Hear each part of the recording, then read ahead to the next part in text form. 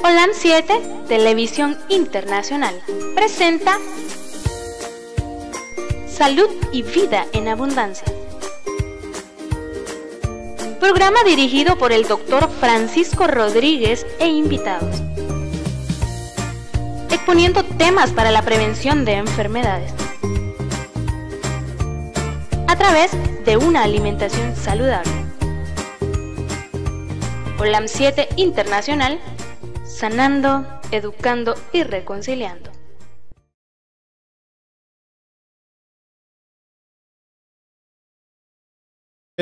A todas las personas que nos están escuchando y a todas aquellas personas que nos están viendo a través del canal OLAN 7 Internacional, es un gusto para nosotros estar nuevamente con ustedes con su programa Salud y Vida en Abundancia que les enviamos un caluroso saludo, un abrazo para todas esas personas que nos están escuchando, que nos están viendo.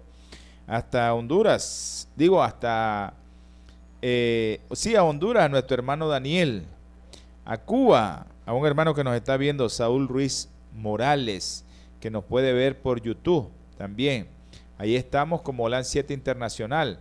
Y a todas las personas que nos están viendo en Panamá, a nuestro hermano Eric, que se comunique, que le acabamos de enviar un mensaje y también a las personas de allá de, de Alhambra, California, que nos están escuchando también a través de una radio, a todas esas personas preciosas que nos escuchan allá en, en Los Ángeles, California. Si es que nos están escuchando en una radio allá en Los Ángeles, California, un saludo de parte de su programa Salud y Vida en Abundancia desde Diriamba, Carazo, Nicaragua, el centro de las Américas. Así que le enviamos un caluroso saludo para todas esas personas que nos escuchan en vivo en radio allá en Los Ángeles, California. También enviamos saludos aquí a la radio, no sé si nos puede decir producción, que si la radio local ya está. Producción.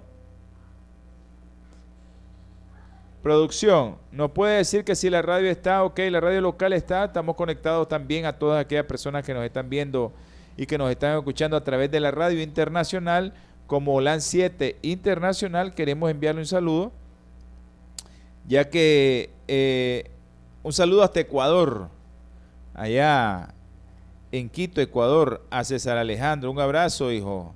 Que Dios te bendiga. Ok, dice que ya nos está viendo, ya nos mandó la foto ahí, que, que es cierto que nos está viendo. Así que un saludo a nuestro queridísimo César Alejandro. Así es que enviamos saludos a nuestro hijo allá, César Alejandro, nuestro sobrino querido que está allá en Quito, Ecuador, que él no se pierde este programa. También enviamos saludos a los hermanos de que nos escuchan en la radio local. Les estaba comentando que estamos en una radio local aquí en el suroriente del país y las personas nos escuchan a través de esa radio aquí, esas personas que no tienen internet, en el campo, aquí en Nicaragua mucha gente nos está escuchando, ahí en la Conquista, Santa Teresa, el Rosario de nuestro hermano Eric y a su esposa y a su niño en Nandaime también queremos enviar un saludo a Michael. Así es que esas personas que nos escuchan a través de la radio local, eh, enviamos saludos también hasta la Conquista, la Mojosa, ahí en la Conquista de la Mojosa a nuestro hermano Pedro César Medrano, que lleva una obra muy preciosa ahí, y también el Nance.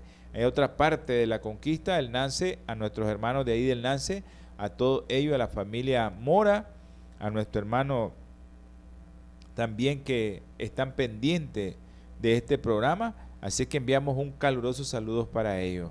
Eh, quiero recordarles también que aquí en Ginotepe nos escucha mucha gente, a la familia Rivas, un saludo a Naín, a su mamá, a su hermano y a, su papá hasta allá en Rivas. Enviamos un saludo a nuestro hermano Adolfo Rivas, que él nos escucha también y nos da seguimiento a través del programa Salud y Vida en Abundancia, transmitido hora centro 7 de la noche. Así es que enviamos saludos también aquí en, en Diriamba, nuestro hermano Jonathan, Jonathan, repórtese. No sé si está Jonathan. Ok, repórtese Jonathan.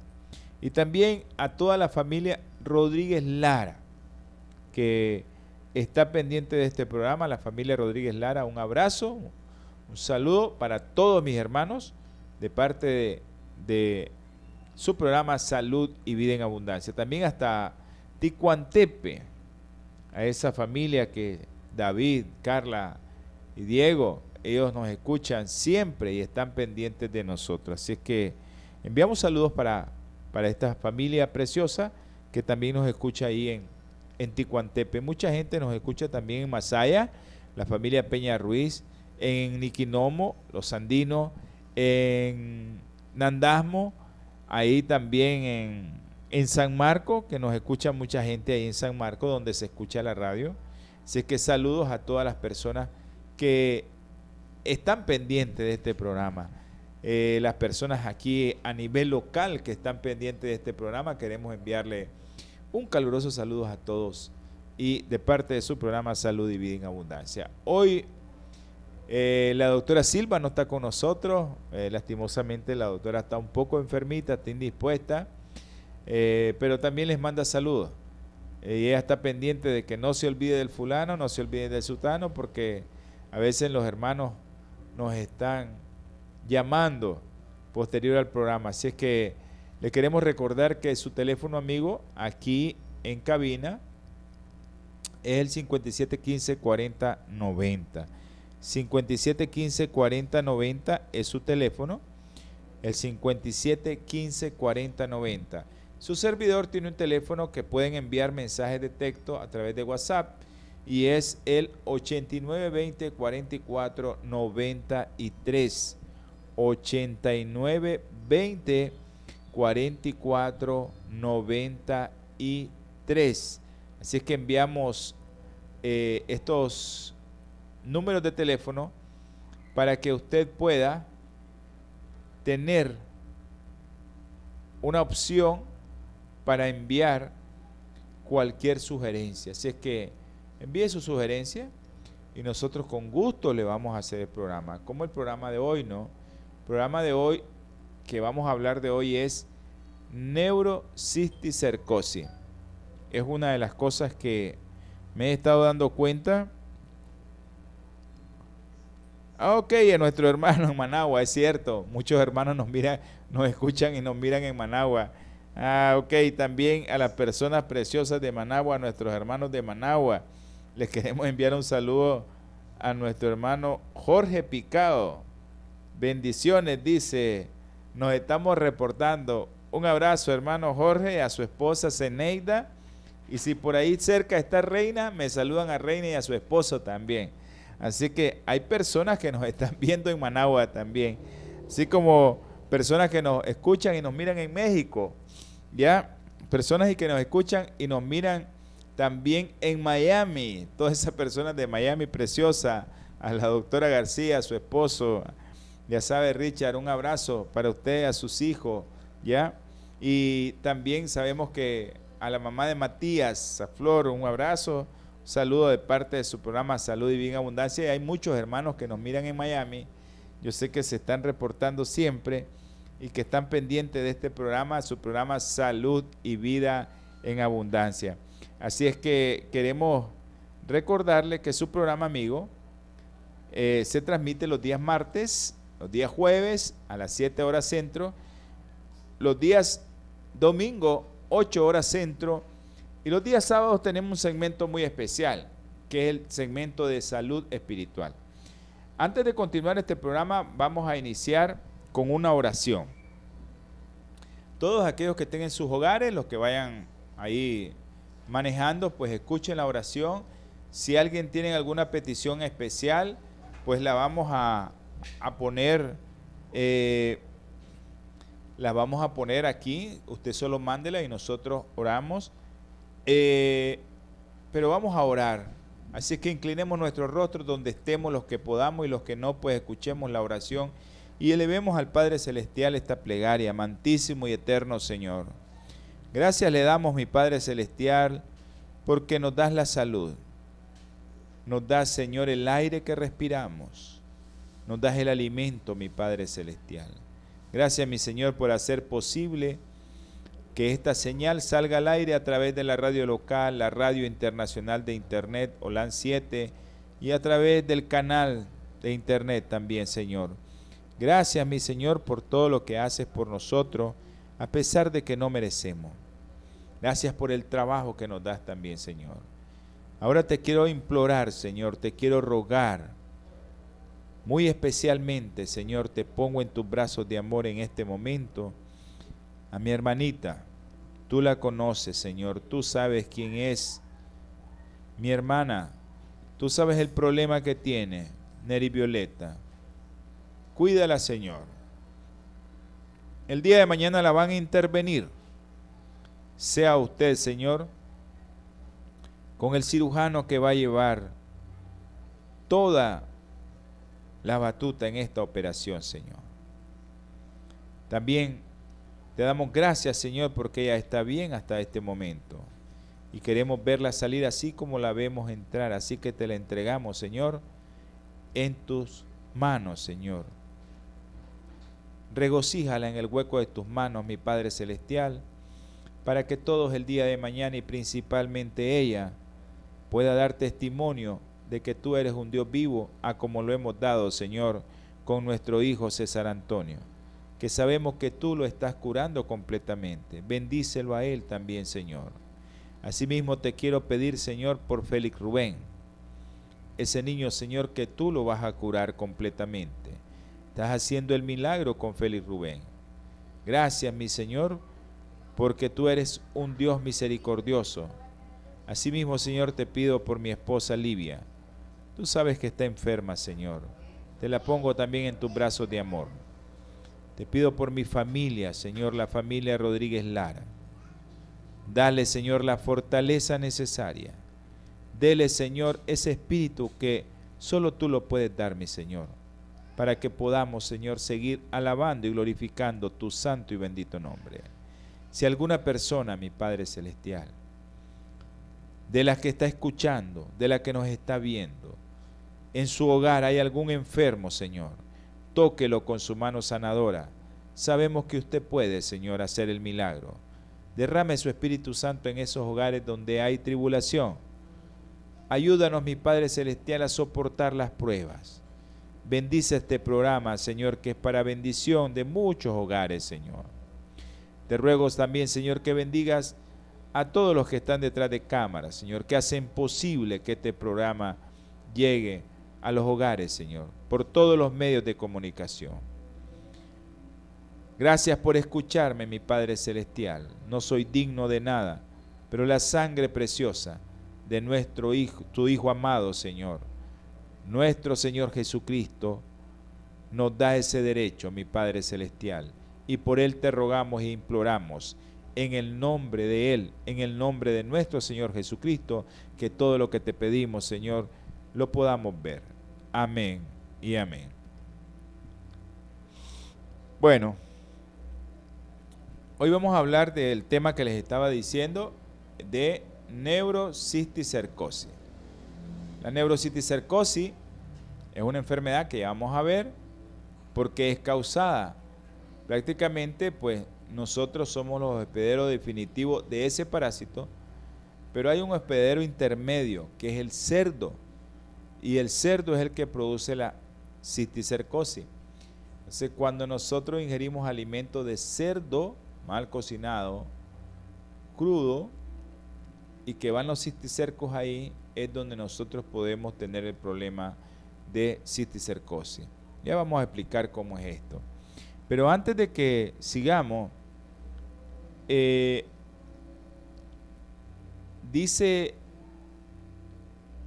la palabra del Señor. Dice, animales que nosotros no podemos comer. Esa es la palabra de Dios. No lo digo yo, sino es la palabra del Señor. Si nosotros somos cristianos, pues tenemos que ser y obedecer lo que dice la palabra de Dios. Dice la palabra de Dios que no podemos comer ni el cerdo, porque tiene pezuñas hendidas, pero no rumia. Lo tendréis por impuro, dice. No comeréis su carne, ni tocaréis su cuerpo muerto. Lo tendréis por impuro. Cuando mi Señor en su santa palabra nos advierte de qué cosas debemos y no debemos de comer, y nosotros no le hacemos caso, no somos cristianos, hermano. Tenemos que ser cristianos y obedecer lo que dice la palabra de Dios. Ah, Pablo, Pablo, Pablo, Pablo, Pablo, ¿sí? Que no le entendemos a Pablo. No se dice, ya no hay problema con la comida y la bebida. No, podemos comer lo que querramos. No leemos bien el contexto de eso. Pero Pedro nos aclara eso. Pedro nos aclara acerca de Pablo, de quién era Pablo. Y dice Pedro, y entended que la paciencia de nuestro Señor es para salvación, como también nuestro amado hermano Pablo os escribió según la sabiduría que le ha sido dada. Miren lo que dice. Esto está en 2 de Pedro 3, 15 y 16. En todas sus cartas habla de esto. Ellas contienen muchos puntos difíciles de entender que los indoctos e inconstantes tuercen, como también las otras escrituras, para perdición de sí mismo. Oye, Pedro nos advierte de que Pablo es una persona que no le entendemos mucho, porque a veces nos habla de unas cosas y a veces nos habla de otras al mismo tiempo. Y entonces dice que no es comida ni bebida la salvación, dice. Así dice. Pero está hablando de otra cosa. Si nosotros leemos el contexto, vamos a entender a Pablo. No, no leemos el contexto de lo que escribe Pablo, nos perdemos. Y vienen otros y te dicen, si dice que ya no es comida ni bebida el reino de Dios, Así que podés comer lo que vos querrás. También en hechos, ¿no? Hechos. Cuando a Pedro le bajan el montón de animales y le dice que puede comer de todo. También es otra de las cosas que no estudian todas las escrituras, porque cuando se refiere a eso se está refiriendo a personas, no a animales. Entonces Pablo es uno de los apóstoles que era muy sabio, era de mucha sabiduría y aparte era un tipo muy inteligente, un PhD ya en teología, y era un tipo que sabía mucho, muchos idiomas, sabía muchas cosas Pablo, y Pablo nos escribe y a veces nos confunde, pero no, no, el que estudia la palabra de Dios, el que estudia la palabra de Dios no lo va a confundir Pablo, lo único es que tenemos que leer el contexto. Entonces, ¿qué es la cisticercosis? Porque de ahí vamos a hablar de la neurocisticercosis. Bueno, una infección por parásito de los tejidos causada por quistes larvarios de la tenia porcina. ¿Sí? Estos quistes infectan el cerebro, los músculos y otros tejidos y son una de las causas principales de epilepsia en los adultos de la mayoría de los países de bajos ingresos. Una persona puede contraer cisticercosis al ingerir los huevos excretados por alguien que tiene solitaria o tenia intestinal. Las personas que viven en el mismo hogar del portador de la tenia o solitaria tienen un riesgo más alto de contraer cisticercosis que otras personas. Ya, también aquellas personas que la cisticercosis dice no se contrae por comer carne de cerdo mal cocida lo que se adquiere es la infección por la tenia, ¿sí? la cual se contrae al comer carne de cerdo mal cocida que contenga quistes larvarios. Entonces los cerdos se infectan al ingerir huevos de qué? De seres humanos que están defecando al aire libre y como los cerdos son coprofágicos, o sea, les gustan las S, comen y comen grandes cantidades de este tipo de animal y después nosotros nos comemos el cerdito y ahí tenemos el problema. Por algo mi Señor dijo, no coman cerdo, ni toquen sus cuerpos. Imagínense lo que dijo mi Señor, ni siquiera toquen su cuerpo muerto. La teniasis y la cisticercosis ocurren en todo el mundo, o en todo el mundo hay eso. Pero hay países que no tienen. Los musulmanes no tienen porque ellos no comen cerdo para ellos es abominación y así debería de ser para nosotros, como dice la Biblia, no comer cerdo. Muchas personas preguntan, ¿qué es la citicercosis? Es una infección causada por los estados larvario de la tenia solio. La tenia saginata no, la tenia o la solitaria de la vaca no, es la tenia del cerdo, la tenia solio en la que te provoca citicercosis. Después que una persona ingiere los huevos de la tenia, las larvas se adhieren a los tejidos como los músculos, el cerebro, formando los famosos cisticercos. Cuando los cisticercos se localizan en el cerebro, la infección se llama neurocisticercosis, que es de lo que vamos a hablar el día de hoy. Eso es lo que vamos a hablar específicamente, la neurocisticercosis, porque eso es lo que queremos nosotros que todos eh, conozcan acerca de la neurocisticercosis, ¿ya? La neurocisticercosis es una enfermedad mundial, les estaba diciendo que solo los musulmanes no la tienen, en Latinoamérica es donde se encuentra más, y vamos a ver que nosotros tenemos eh, cómo adquirirla. Y vamos a ver un poquito lo de la tenia solium, cómo es su ciclo biológico y epidemiológico. Entonces el hombre, que es el único hospedero definitivo, adquiere la parasitación al ingerir la carne de cerdo cruda, curada o poco cocida, infestada con cisticerco o una larva infestante. Al llegar al intestino humano se digiere todo excepto el escole, que se fija a la mucosa intestinal mediante la ventosa y desarrolla una cadena de proglótides que dará lugar al gusano adulto en dos o tres meses, pudiendo permanecer en el intestino durante años. La única forma que se tiene que tiene el cesto de imitar los huevos es con la defecación de manera que los anillos gravídicos, los anillos que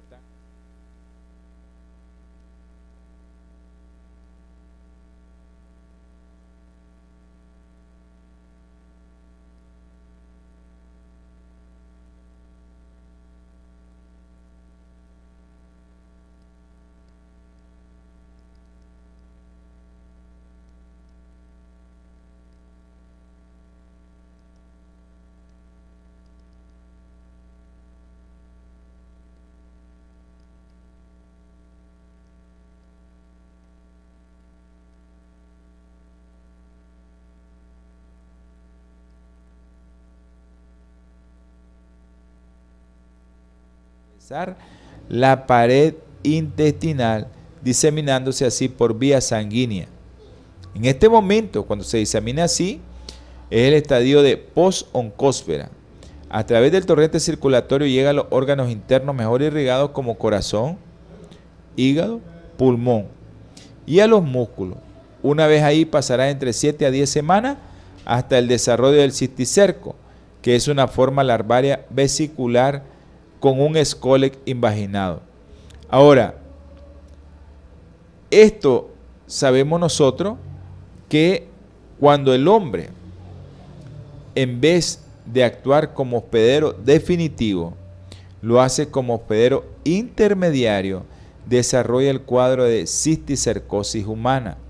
Esto sucede porque ingiere huevos que eclosionan en el intestino y la larva penetra a través de los tejidos pudiendo afectar qué cosa, llega al torrente circulatorio y que puede afectar músculo, ojos, cerebro y en general cualquier cavidad. Ya cualquier cavidad se puede ir a depositar, pero los músculos, el ojo y el cerebro son los principales. Ahora, la tenia saginata, que es la de la vaca, no provoca este problema pero aquí el hospedero intermediario son las vacas y no produce cisticercosis humana. Por eso es la importancia de decir tenia sonio y tenia saginata, o tenia del cerdo y tenia de qué? De la vaca. Entonces es importante que todos nosotros manejemos esto porque es ahí donde viene lo que le vamos a hablar ahí viene lo que le vamos a hablar, la importancia ¿no? de la cisticercosis específicamente cerebral o neurocisticercosis. La neurocisticercosis es la parasitosis humana más frecuente del sistema nervioso central y es endémica. Dice que es endémica. Ok, dice...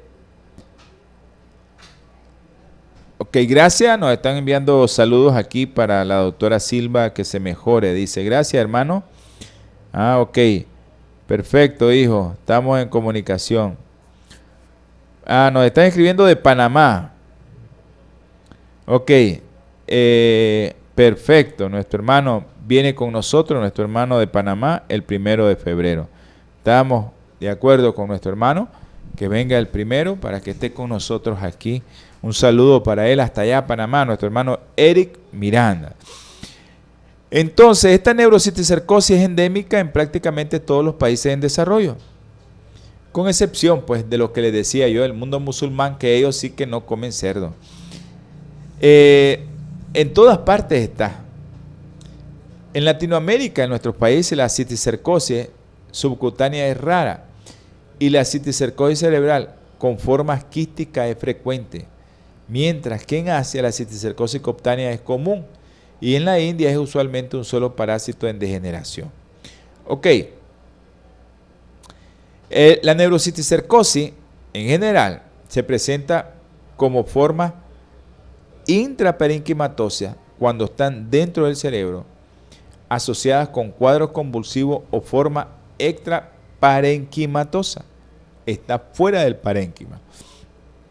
Estando estas últimas asociadas con hipertensión endocraniana y ahí vamos a ver más adelante todas las manifestaciones clínicas que da este parásito para que ustedes puedan entender la preocupación cuando nosotros les decimos no consuman cerdo. Es que lo vamos a hacer bien cocidito, no consuman cerdo. Mi Señor por algo dijo, no consuman el cerdo ni lo coman. Pero hay momentos en que nosotros Obedecemos a la gente y no obedecemos a Dios. Esa es nuestra debilidad, que estamos obedeciendo a la gente y no a Dios. Entonces, las formas extraparenquimatosas se asocian a hipertensión endocraniana o hidrocefalia, que es lo que vamos a ver más adelante. Los quistes que están en el cerebro, eso que, estos cisticercos que están en el cerebro, tienen tres fases de evolución o varias fases de evolución. Una fase de evolución que es la fase vesicular, que son quistes viables, provocan una respuesta inflamatoria mínima. Después viene la fase coloidal, presencia de inflamación provocada por la respuesta inflamatoria celular alrededor del quiste. Saben que el cuerpo comienza a tratar de eliminar con la célula y hay una respuesta inflamatoria alrededor del quiste para que ese quiste no siga afectando el cerebro. Esa es la respuesta inflamatoria celular. Y la fase nódulo granular, sustitución gradual por tejido fibrótico y colapso progresivo de la pared del quiste. Se va poniendo chiquito ya. Y por último, que es la cuarta fase, la fase de calcificación. Se pone como un cálculo. Incorporación de calcio sobre el tejido fibrótico del parásito. Y ahí queda. Pero viene la otra fase, la fase extraparenquimal o extraparenquimatosa, que incluye quiste subaranoideo o intraventriculares. Ese es un problema bien serio, porque los quistes pueden ser chiquitos o grandotes, dependiendo, y ahí vienen los problemas. Los quistes subarachnoideo pueden alcanzar gran tamaño y forman lobulaciones, como que si estamos con un racimo de uva. Pierden el escólec y se ubican por lo general en la base del cerebro o en la fisura de Silvio, más raramente en la convexidad. Los quistes subalanoideos de la base llevan a hidrocefalia eso llevan los quistes. La cabeza se comienza a poner un poquito grande porque vemos que el líquido cefalorraquídeo se va acumulando ahí y no hay salida porque hay una obstrucción de la fisura de Silvio o del agujero de Silvio y no pasa el líquido de los ventrículos laterales del tercer ventrículo al cuarto ventrículo, ahí viene el problema. La neurociticercosis intraventricular provoca elevación transitoria o persistente de la presión intracraneal y ahí vienen los dolores de cabeza y la sensación de dolor de cabeza que no se te quita. Esto es secundario al bloqueo del acueducto de Silvio o del orificio de Luzca y Magenda, por donde va pasando el líquido cefalorraquídeo. Entonces el líquido cefalorraquídeo se mueve de un lugar a otro, de los ventrículos laterales del tercer ventrículo al cuarto ventrículo, y ahí se está moviendo y pasa a la médula espinal y es lo que nos recubre el cerebro, porque cuando nosotros hacemos así, el cerebro no se golpea con la tabla ósea ni nada porque estamos tenemos un colchón de agua. Pero cuando ese colchón de agua se está acumulando mucho, comienza el cerebro a acumularse porque no sale de adentro. El agua o el líquido cefalorraquídeo no sale. Y entonces comienza a acumularse y comienza a comprimir el cerebro y te comienza a dar la inflamación, el edema cerebral y ahí viene, puede haber muchas complicaciones. La inflamación de estos quistes produce ependimitis y aranoiditis, o sea, una inflamación de todo esto. Y nosotros tenemos que... Ah, ok. Dice... Un saludo a Jonathan. Jonathan, un abrazo. Gracias por reportarte al programa. Jonathan nos está escuchando en la radio. Ay, también. Ok, perfecto, Jonathan, gracias. Dice, buen programa. Un saludo para Jonathan aquí en Diriamba. Él nos está escuchando a través de la radio, la radio local. Ok. Entonces, cuando produce ependimitis y aranoiditis, lo que a su vez provoca también hidrocefalia o vasculitis con un puede provocar también un accidente cerebrovascular o derrame. Estamos viendo nosotros esto, por ejemplo, en los Estados Unidos. Es raro que ustedes miren que una persona no haya salido de Estados Unidos y tenga neurociticercosis. Eso es muy raro. Y tal vez van a, van a pensar que, esto no es frecuente. Es muy frecuente en nuestro medio. Eh, consultábamos y preguntábamos, estábamos comentando con un neurocirujano y él me decía que mucha gente, hay muchas personas que llegan con estos problemas actualmente, y ahora que los medios diagnósticos son más, más fáciles ¿no? de, obtener medios diagnósticos como tomografía, resonancia magnética, eh, fondo de ojo, hay muchos equipos, muchas cosas para hacer diagnóstico. Entonces, él está viendo, dice, él es neurocirujano, él está viendo muchos problemas de hidrocefalia, hipertensión endocraniana, edema cerebral, secundario a neurocisticercosis, ya o un quiste eh, que está ahí, pero que lo que lo que hay es una neurocisticercosis. Entonces, vamos a ver un poco de las manifestaciones clínicas. Nosotros aquí en el programa lo que nos gusta hacer es darle las manifestaciones clínicas, ver cómo se provoca esto y evitarlo. Como nosotros, ya les voy a decir desde ahorita, ¿cómo se evita esto? Bueno, lo primero es no consuma carne de cerdo. Lo segundo, no consuma alimentos en la calle, especialmente ahorita, pues por ejemplo en este pueblo y en todos estos pueblos de aquí, de Carazo y sus alrededores, están en fiestas patronales y mucha gente, pero mucha gente se pone a vender comida de forma ambulatoria. Aquí en Diriamba, por ejemplo, hace mucho viento y todavía hay lugares aquí, lastimosamente así es, hay lugares donde hay personas que defecan al aire libre. Esas defecaciones al aire libre pues se hacen polvo. Y después vienen los vientos, los polvos, y llegan a dónde? A donde están esos alimentos destapados al sol, porque así es nuestra costumbre. Venden en los lugares, en las aceras, venden alimentos de este tipo y el polvo cae y ahí van las larvas. Y ahí nosotros consumimos eso. También importante no consumir agua que no sea potable. Es otra de las formas que nosotros podemos adquirir eh, la citicercosis y específicamente la neurocisticercosis. Entonces tenemos varias formas de adquirirlo. A veces no necesariamente puede ser el cerdo, porque hay gente que no puede consumir cerdo aquí y tiene neurociticercosis. ¿Y de dónde me dio neurociticercosis? Bueno, las tajaditas, la enchiladita que te fuiste a comer ahí al parque, donde está pasando el viento y donde hay eh, alimentos al aire libre, donde no tienen las medidas de asepsia y antisepsia que debemos de tener para poder expender este tipo de alimentos y consumimos estos y consumimos también la cistecerco.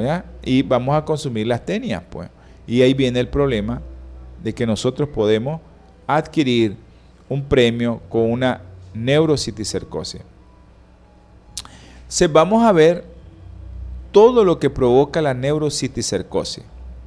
Si alguien tiene de eso, pues que se ubique en qué parte está para que mire lo que provoca la neurociticercosis. La neurociticercosis te puede producir un síndrome de epilepsia. O sea, puede provocar convulsiones parciales o generalizadas. Y te puede eh, ubicar el parásito, se puede ubicar el parásito cuando te da esto en el parénquima cerebral. Te puede dar cefalea o dolor de cabeza. No presenta ninguna característica clínica especial, se aumenta con los esfuerzos y no cede con los analgésicos comunes. Entonces puede estar fuera del parénquima o dentro del parénquima y te va a dar cefalea. Cuando está fuera del parénquima es la que te provoca hipertensión endocraniana, te aumenta o te da hidrocefalia con hipertensión endocraniana, edema cerebral y una cefalea intensa que no se te quita. El síndrome de hipertensión endocraniana específicamente, que además de dolor de cabeza o cefalea, se presenta náusea, vómito, y síntomas visuales acompañados de edema de papila, o sea, edema ya en la retina, en la papila y en la retina. ¿Qué tipo de ubicación tiene el parásito en este caso cuando causa hipertensión endocraniana? Es intraventricular, ¿ya? La neurociticercosis dentro de los ventrículos y específicamente subaranoidea.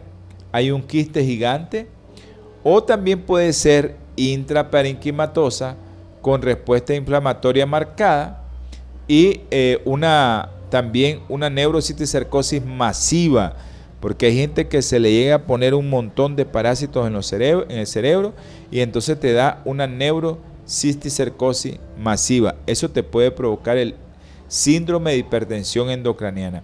También hay otro síndrome que puede provocar la neurocisticercosis y es el síndrome psíquico. Puede ser de tipo psicótico, se pierde la gente, comienza a ponerse prácticamente loca.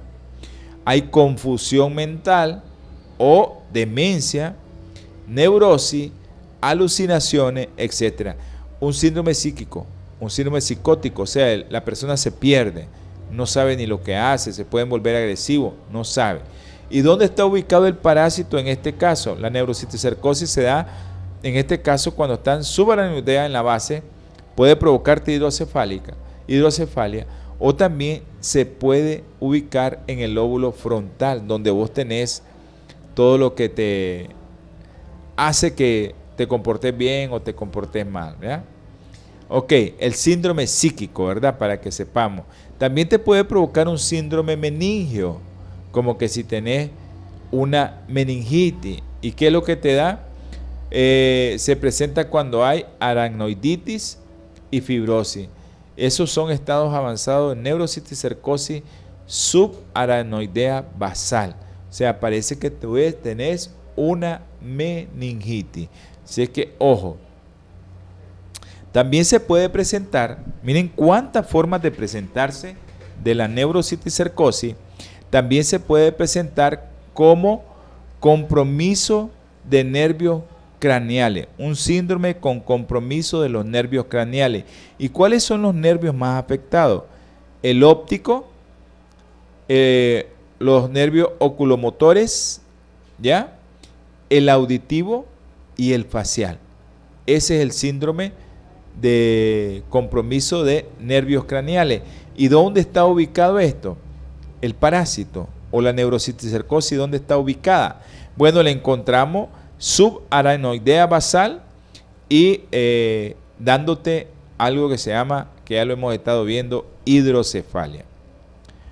También te puede dar un síndrome optoquiasmático por aracnoiditis y estrangulamiento del quiasma óptico porque las meninges están engrosadas. Hay disminución de la agudeza visual y atrofia de la papila con palidez. ¿Ya? Dice que la neurociticercosis en el caso de, de el síndrome optoquiasmático eh, está en eh, la neurocitosis subaranoidea basal y también está provocando hidrocefalia.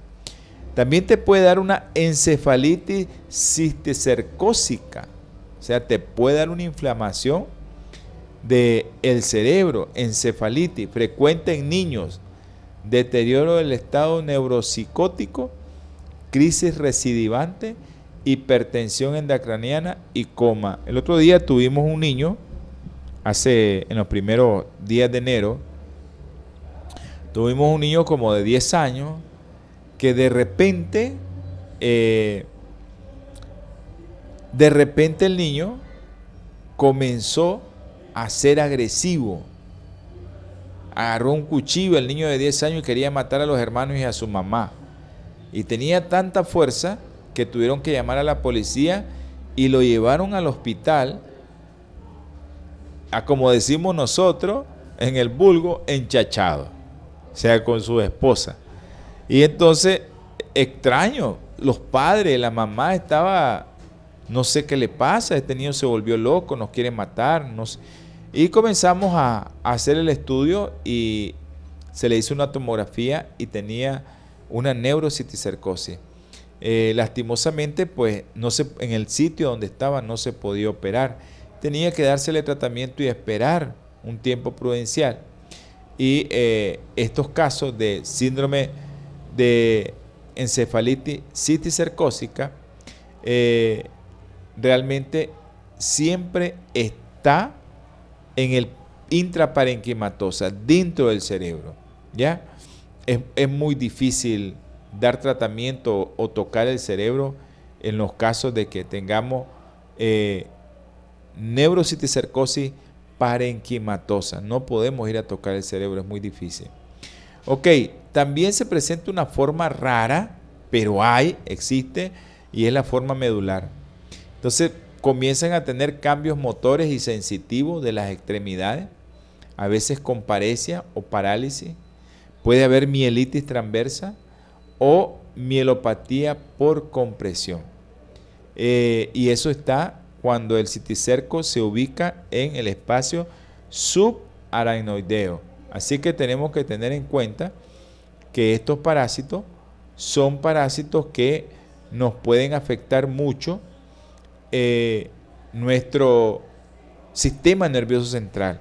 Por eso nos extendimos un poco para dar la sintomatología, pero lo principal de esto es lo que nosotros estamos, como decimos, dando el fuerte pregón eh, no coman cerdo, no coman comidas de la calle, no coman comidas que no vayan a preparar adecuadamente. Cuando vaya a comer hortalizas como repollo, lechuga, ¿qué es lo que va a hacer? Ese tipo de, hortaliza eh, que, que, no sabemos de dónde vienen y que a veces ocupan riegos de río donde las personas se llegan a defecar al aire libre. Entonces, ¿qué es lo que nosotros debemos de hacer? Agarrar esas hortalizas eh, y meterlas en agua con sal. 15, 30 minutos no va a quedar igual. No queda crujiente la hoja, se pone aguadita. Pero es lo mejor para sacar los parásitos flotan con la solución salina, con la sal, en agua con sal, le pueden echar cloro y ahí la dejan, ¿ya? Y después se enjuaga nuevamente ese, esa hortaliza como el repollo, la lechuga, la espinaca, ese tipo de hortaliza que utilizan riego de ríos en ocasiones para poder que esa hortaliza pueda ser eh, adquirir su desarrollo necesitan mucho riego y ocupan pues riego de ríos y a veces las personas eh, tienen, eh, o sea, tienen sus actos defecatorios o defecan al aire libre, tienen ese tipo de, de, de, de problema o ese hábito ¿no? de defecar al aire libre y eso nos trae muchas complicaciones. Pero lo ideal es hacer eso en el hogar. Y la otra cosa, que no lo digo yo, ¿verdad? Lo dice la palabra de Dios, es que tienen que defecar primero en sus letrinas. Todas aquellas personas que me están escuchando en el campo, eh, porque son muchas personas las que me escuchan aquí en el campo, que hagan su letrina. El gobierno ahora da facilidades para hacer las letrinas. A veces llegan proyectos a las comunidades donde lo único que tienen que hacer es el hoyo, ya, para poner su, su plancha y se las dan. Y hay algo otros que, hay otros proyectos que llegan a las comunidades a través del gobierno también, que te dan la plancha de la letrina para que la pagues poquito a poco y no, es, no son caras. Entonces tenemos que buscar cómo defecar en letrina. Acuérdense que en números dice que mi Señor les dijo a los hebreos cuando salieron de Egipto, todo aquel que vaya a defecar lleve un bordón, dice, haga un hoyo, defeque y tápela. Es lo que deberíamos de hacer en el campo todas aquellas personas que no tienen, ¿verdad? Eh, letrina, pues que hagan eso. Pero la mayoría de las personas actualmente tienen letrina. Sabemos que aquí en Nicaragua, yo sé que hay muchos lugares así en Latinoamérica, que la gente vive muy alejada, que no tiene letrina y que tiene ese hábito de fecar al aire libre. Entonces, ¿cómo hacemos el diagnóstico de la neurociticercosis? Bueno, tomografía axial computarizada y resonancia magnética. Dependiendo, la TAX es el procedimiento diagnóstico más útil en la neurociticercosis es importante enfatizar que la tomografía axial computarizada debe ser realizada en equipos de última generación y buena calidad de imagen para poder tener una buena resolución y no tener dificultad en el diagnóstico. ¿Ya? Las tomografías pueden revelar formas activas en degeneración e inactivas del cisticerco. Y también pueden verse eh, la imagen de neurocisticercosis subaranoidea con hidrocefalia, quistes intraventriculares y encefalitis cisticercósica. ¿Ya? Y también puede haber múltiples quistes captadores de contraste en el anillo, eh, inflamando y dando edema con ventrículos laterales pequeños porque están obstruidos. Pero también tenemos otro medio diagnóstico que es la resonancia magnética. Eh, que tiene mayor sensibilidad que la tomografía axial computarizada, que la TAC, ¿verdad? Particularmente por aquellas lesiones pequeñas, ¿ya? Entonces muestra imágenes mejor definidas, quistes, el SCOLEC, eh, los quistes intraventriculares en el tercer y cuarto ventrículo, en distintos planos espaciales, por eso es que se tiene que hacer. Eh, yo sé que en ocasiones los neurocirujanos eh, toman conductas que a nosotros y a los familiares nos parecen agresivas, hay que operarte ya. Más ahora los procedimientos eh, que están haciendo que son menos invasivos que antes. Porque antes te tenían que poner una, cuando tenías hidrocefalia, te tenían que poner una válvula que iba, o sea, un cordón. Te ponían aquí una válvula y un cordón que iba aquí, una manguera. Pues. al peritoneo donde estaba vaciando el líquido cefalorraquídeo. Actualmente ya no se está haciendo ese procedimiento en la hidrocefalia secundaria cisticercosis, más cuando no encuentran el, el quiste donde está.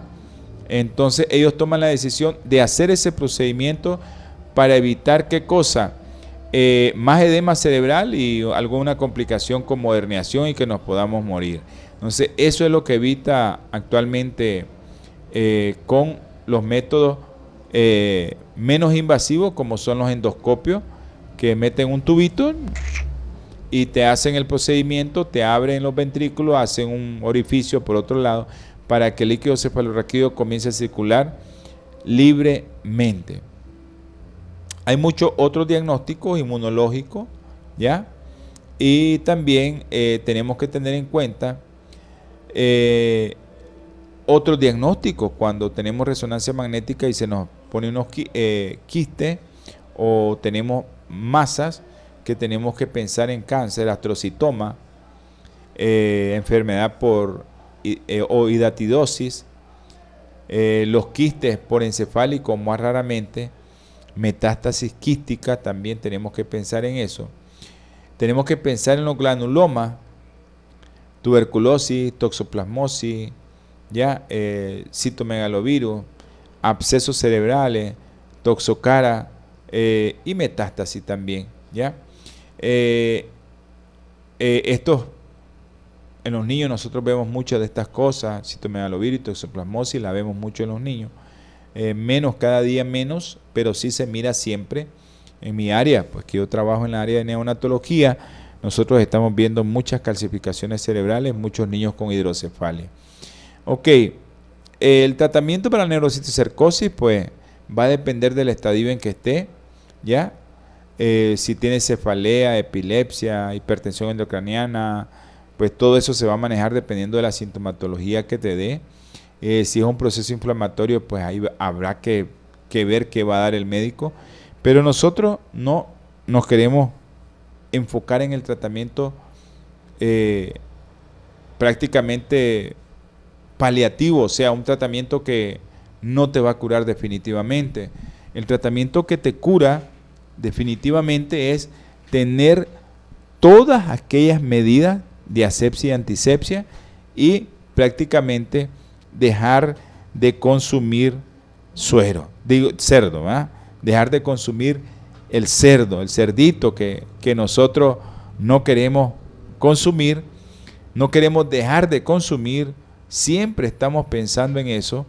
Y les recuerdo, hermano, que el cerdo no es nada bueno. Primero por esa enfermedad que te puede provocar, que incluso te puede llevar a muchas complicaciones. Y segundo, eh, tiene una grasa que no es buena. Esa es una de las grasas más, eh, ¿cómo decirle?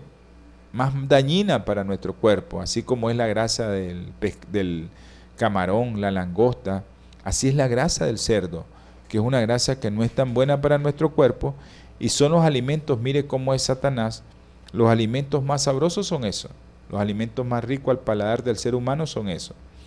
Yo le doy gracias a mi Señor que yo no consumo nada de eso, pero consumí. Yo consumí eso. Consumí muchas cosas de esas. No sé, yo le doy gracias a mi Señor porque ya no consumo eso, pero sí tenemos que entender que, que tenemos que dejar de consumir este tipo de, de alimento. Hay tantas alternativas para comer, hermano. Hay tanta alternativa para que usted coma eh, que usted puede dejar de ingerir este tipo de alimentos para que no esté haciendo estragos en su salud, para que evite tener todas estas complicaciones y todos estos síndromes y todas estas cosas que te puede atraer una neurocisticercosis. Ya les recuerdo que la, el ganado o el ganado bovino tiene también teniasis o solitaria, que es la tenia saginata, pero no provoca eh. Así es que queremos recordarles que lo ideal sería comida sana. Eso es lo ideal. Yo no tengo nada en contra de nuestros hermanos que están vendiendo en la calle, que se están ganando el sustento de la vida, pero tenemos que tener mucho cuidado cuando nosotros vamos a consumir ese tipo de alimento. Así es que ojo con ese tipo de alimento que no es el adecuado, ojo con ese tipo de alimento que no es el que debemos de consumir. Se nos llegó el final del programa, enviamos saludos a todas las personas que nos vieron. Bendiciones a todos aquellos hermanos que están pendientes de este programa de salud y vida en abundancia. Quiero recordarles que su programa el próximo los, los martes a las 7 de la noche, los jueves a las 7 de la noche, hora centro, y el próximo sábado tenemos el programa de salud espiritual, que es un segmento de este programa, eh, y lo tenemos a las 2 de la tarde. Los domingos, como siempre, estamos a las 8 de la mañana con su programa Salud y Vida en Abundancia. Vamos a hacer una oración para dar por concluido este programa. Así es que todos aquellos hermanos que nos están escuchando y que nos están viendo y aquellos que nos van escuchando en la radio, que van a través del volante, eh, atrás del volante, que escuchen la oración. Amantísimo y eterno Señor, gracias le damos, mi Padre Celestial, por haber estado con nosotros. Bendice a todos los hermanos que nos escucharon, a todos los que nos vieron. Ten misericordia de ellos como la has tenido con nosotros, Señor. Dale fortaleza, tú sabes a quién, mi Señor, a mi hermana. Tú sabes, dale la fortaleza a mi hermanita. Dale la fortaleza a todos mis hermanos, Señor. Y que te la pongan en tus brazos de amor, Señor que los huecos de tus manos, Señor, sean las que la estén chineando en este momento. Y que mañana, Señor, el cirujano que la va a operar, mi Padre Celestial, sea usted llevando ese bisturí. Gracias, mi Padre Celestial, porque todo lo que te pedí y te rogué, te lo supliqué en el nombre de nuestro Señor Jesucristo. Amén y amén. Nos vemos, nos escuchamos el próximo jueves a las 7 de la noche. Ya saben que el sábado a las 2 de la tarde y el domingo a las 8 de la mañana, hora centro. Todos nosotros hora centro. Así que aquellas personas que tengan alguna sugerencia para el programa Salud y Vida en Abundancia, eh, que lo hagan saber y nosotros con gusto se, le haremos su programa. Tenemos pendientes dos programas que nos han pedido que no lo hemos podido hacer, pero sí lo vamos a hacer. Son dos programas que ya están próximos a, hacerse, pero estamos ahí pendientes con esos dos programas que nos pidieron. A nuestro hermano de Cuba, Saúl Ruiz Morales, le enviamos un caluroso saludo de parte de su programa Salud y Bien Abundancia. Y hermano, socialice el sitio web para que mucha gente pueda ver este canal de OLAN 7 Internacional. Quiero enviarles buenas noches y que el Señor me lo bendiga a todos y nos vemos el próximo programa de Salud y Bien Abundancia. Holan 7, Televisión Internacional, presentó Salud y Vida en Abundancia. Programa dirigido por el doctor Francisco Rodríguez e invitados exponiendo temas para la prevención de enfermedades a través de una alimentación saludable. OLAM 7 Internacional, sanando, educando y reconciliando.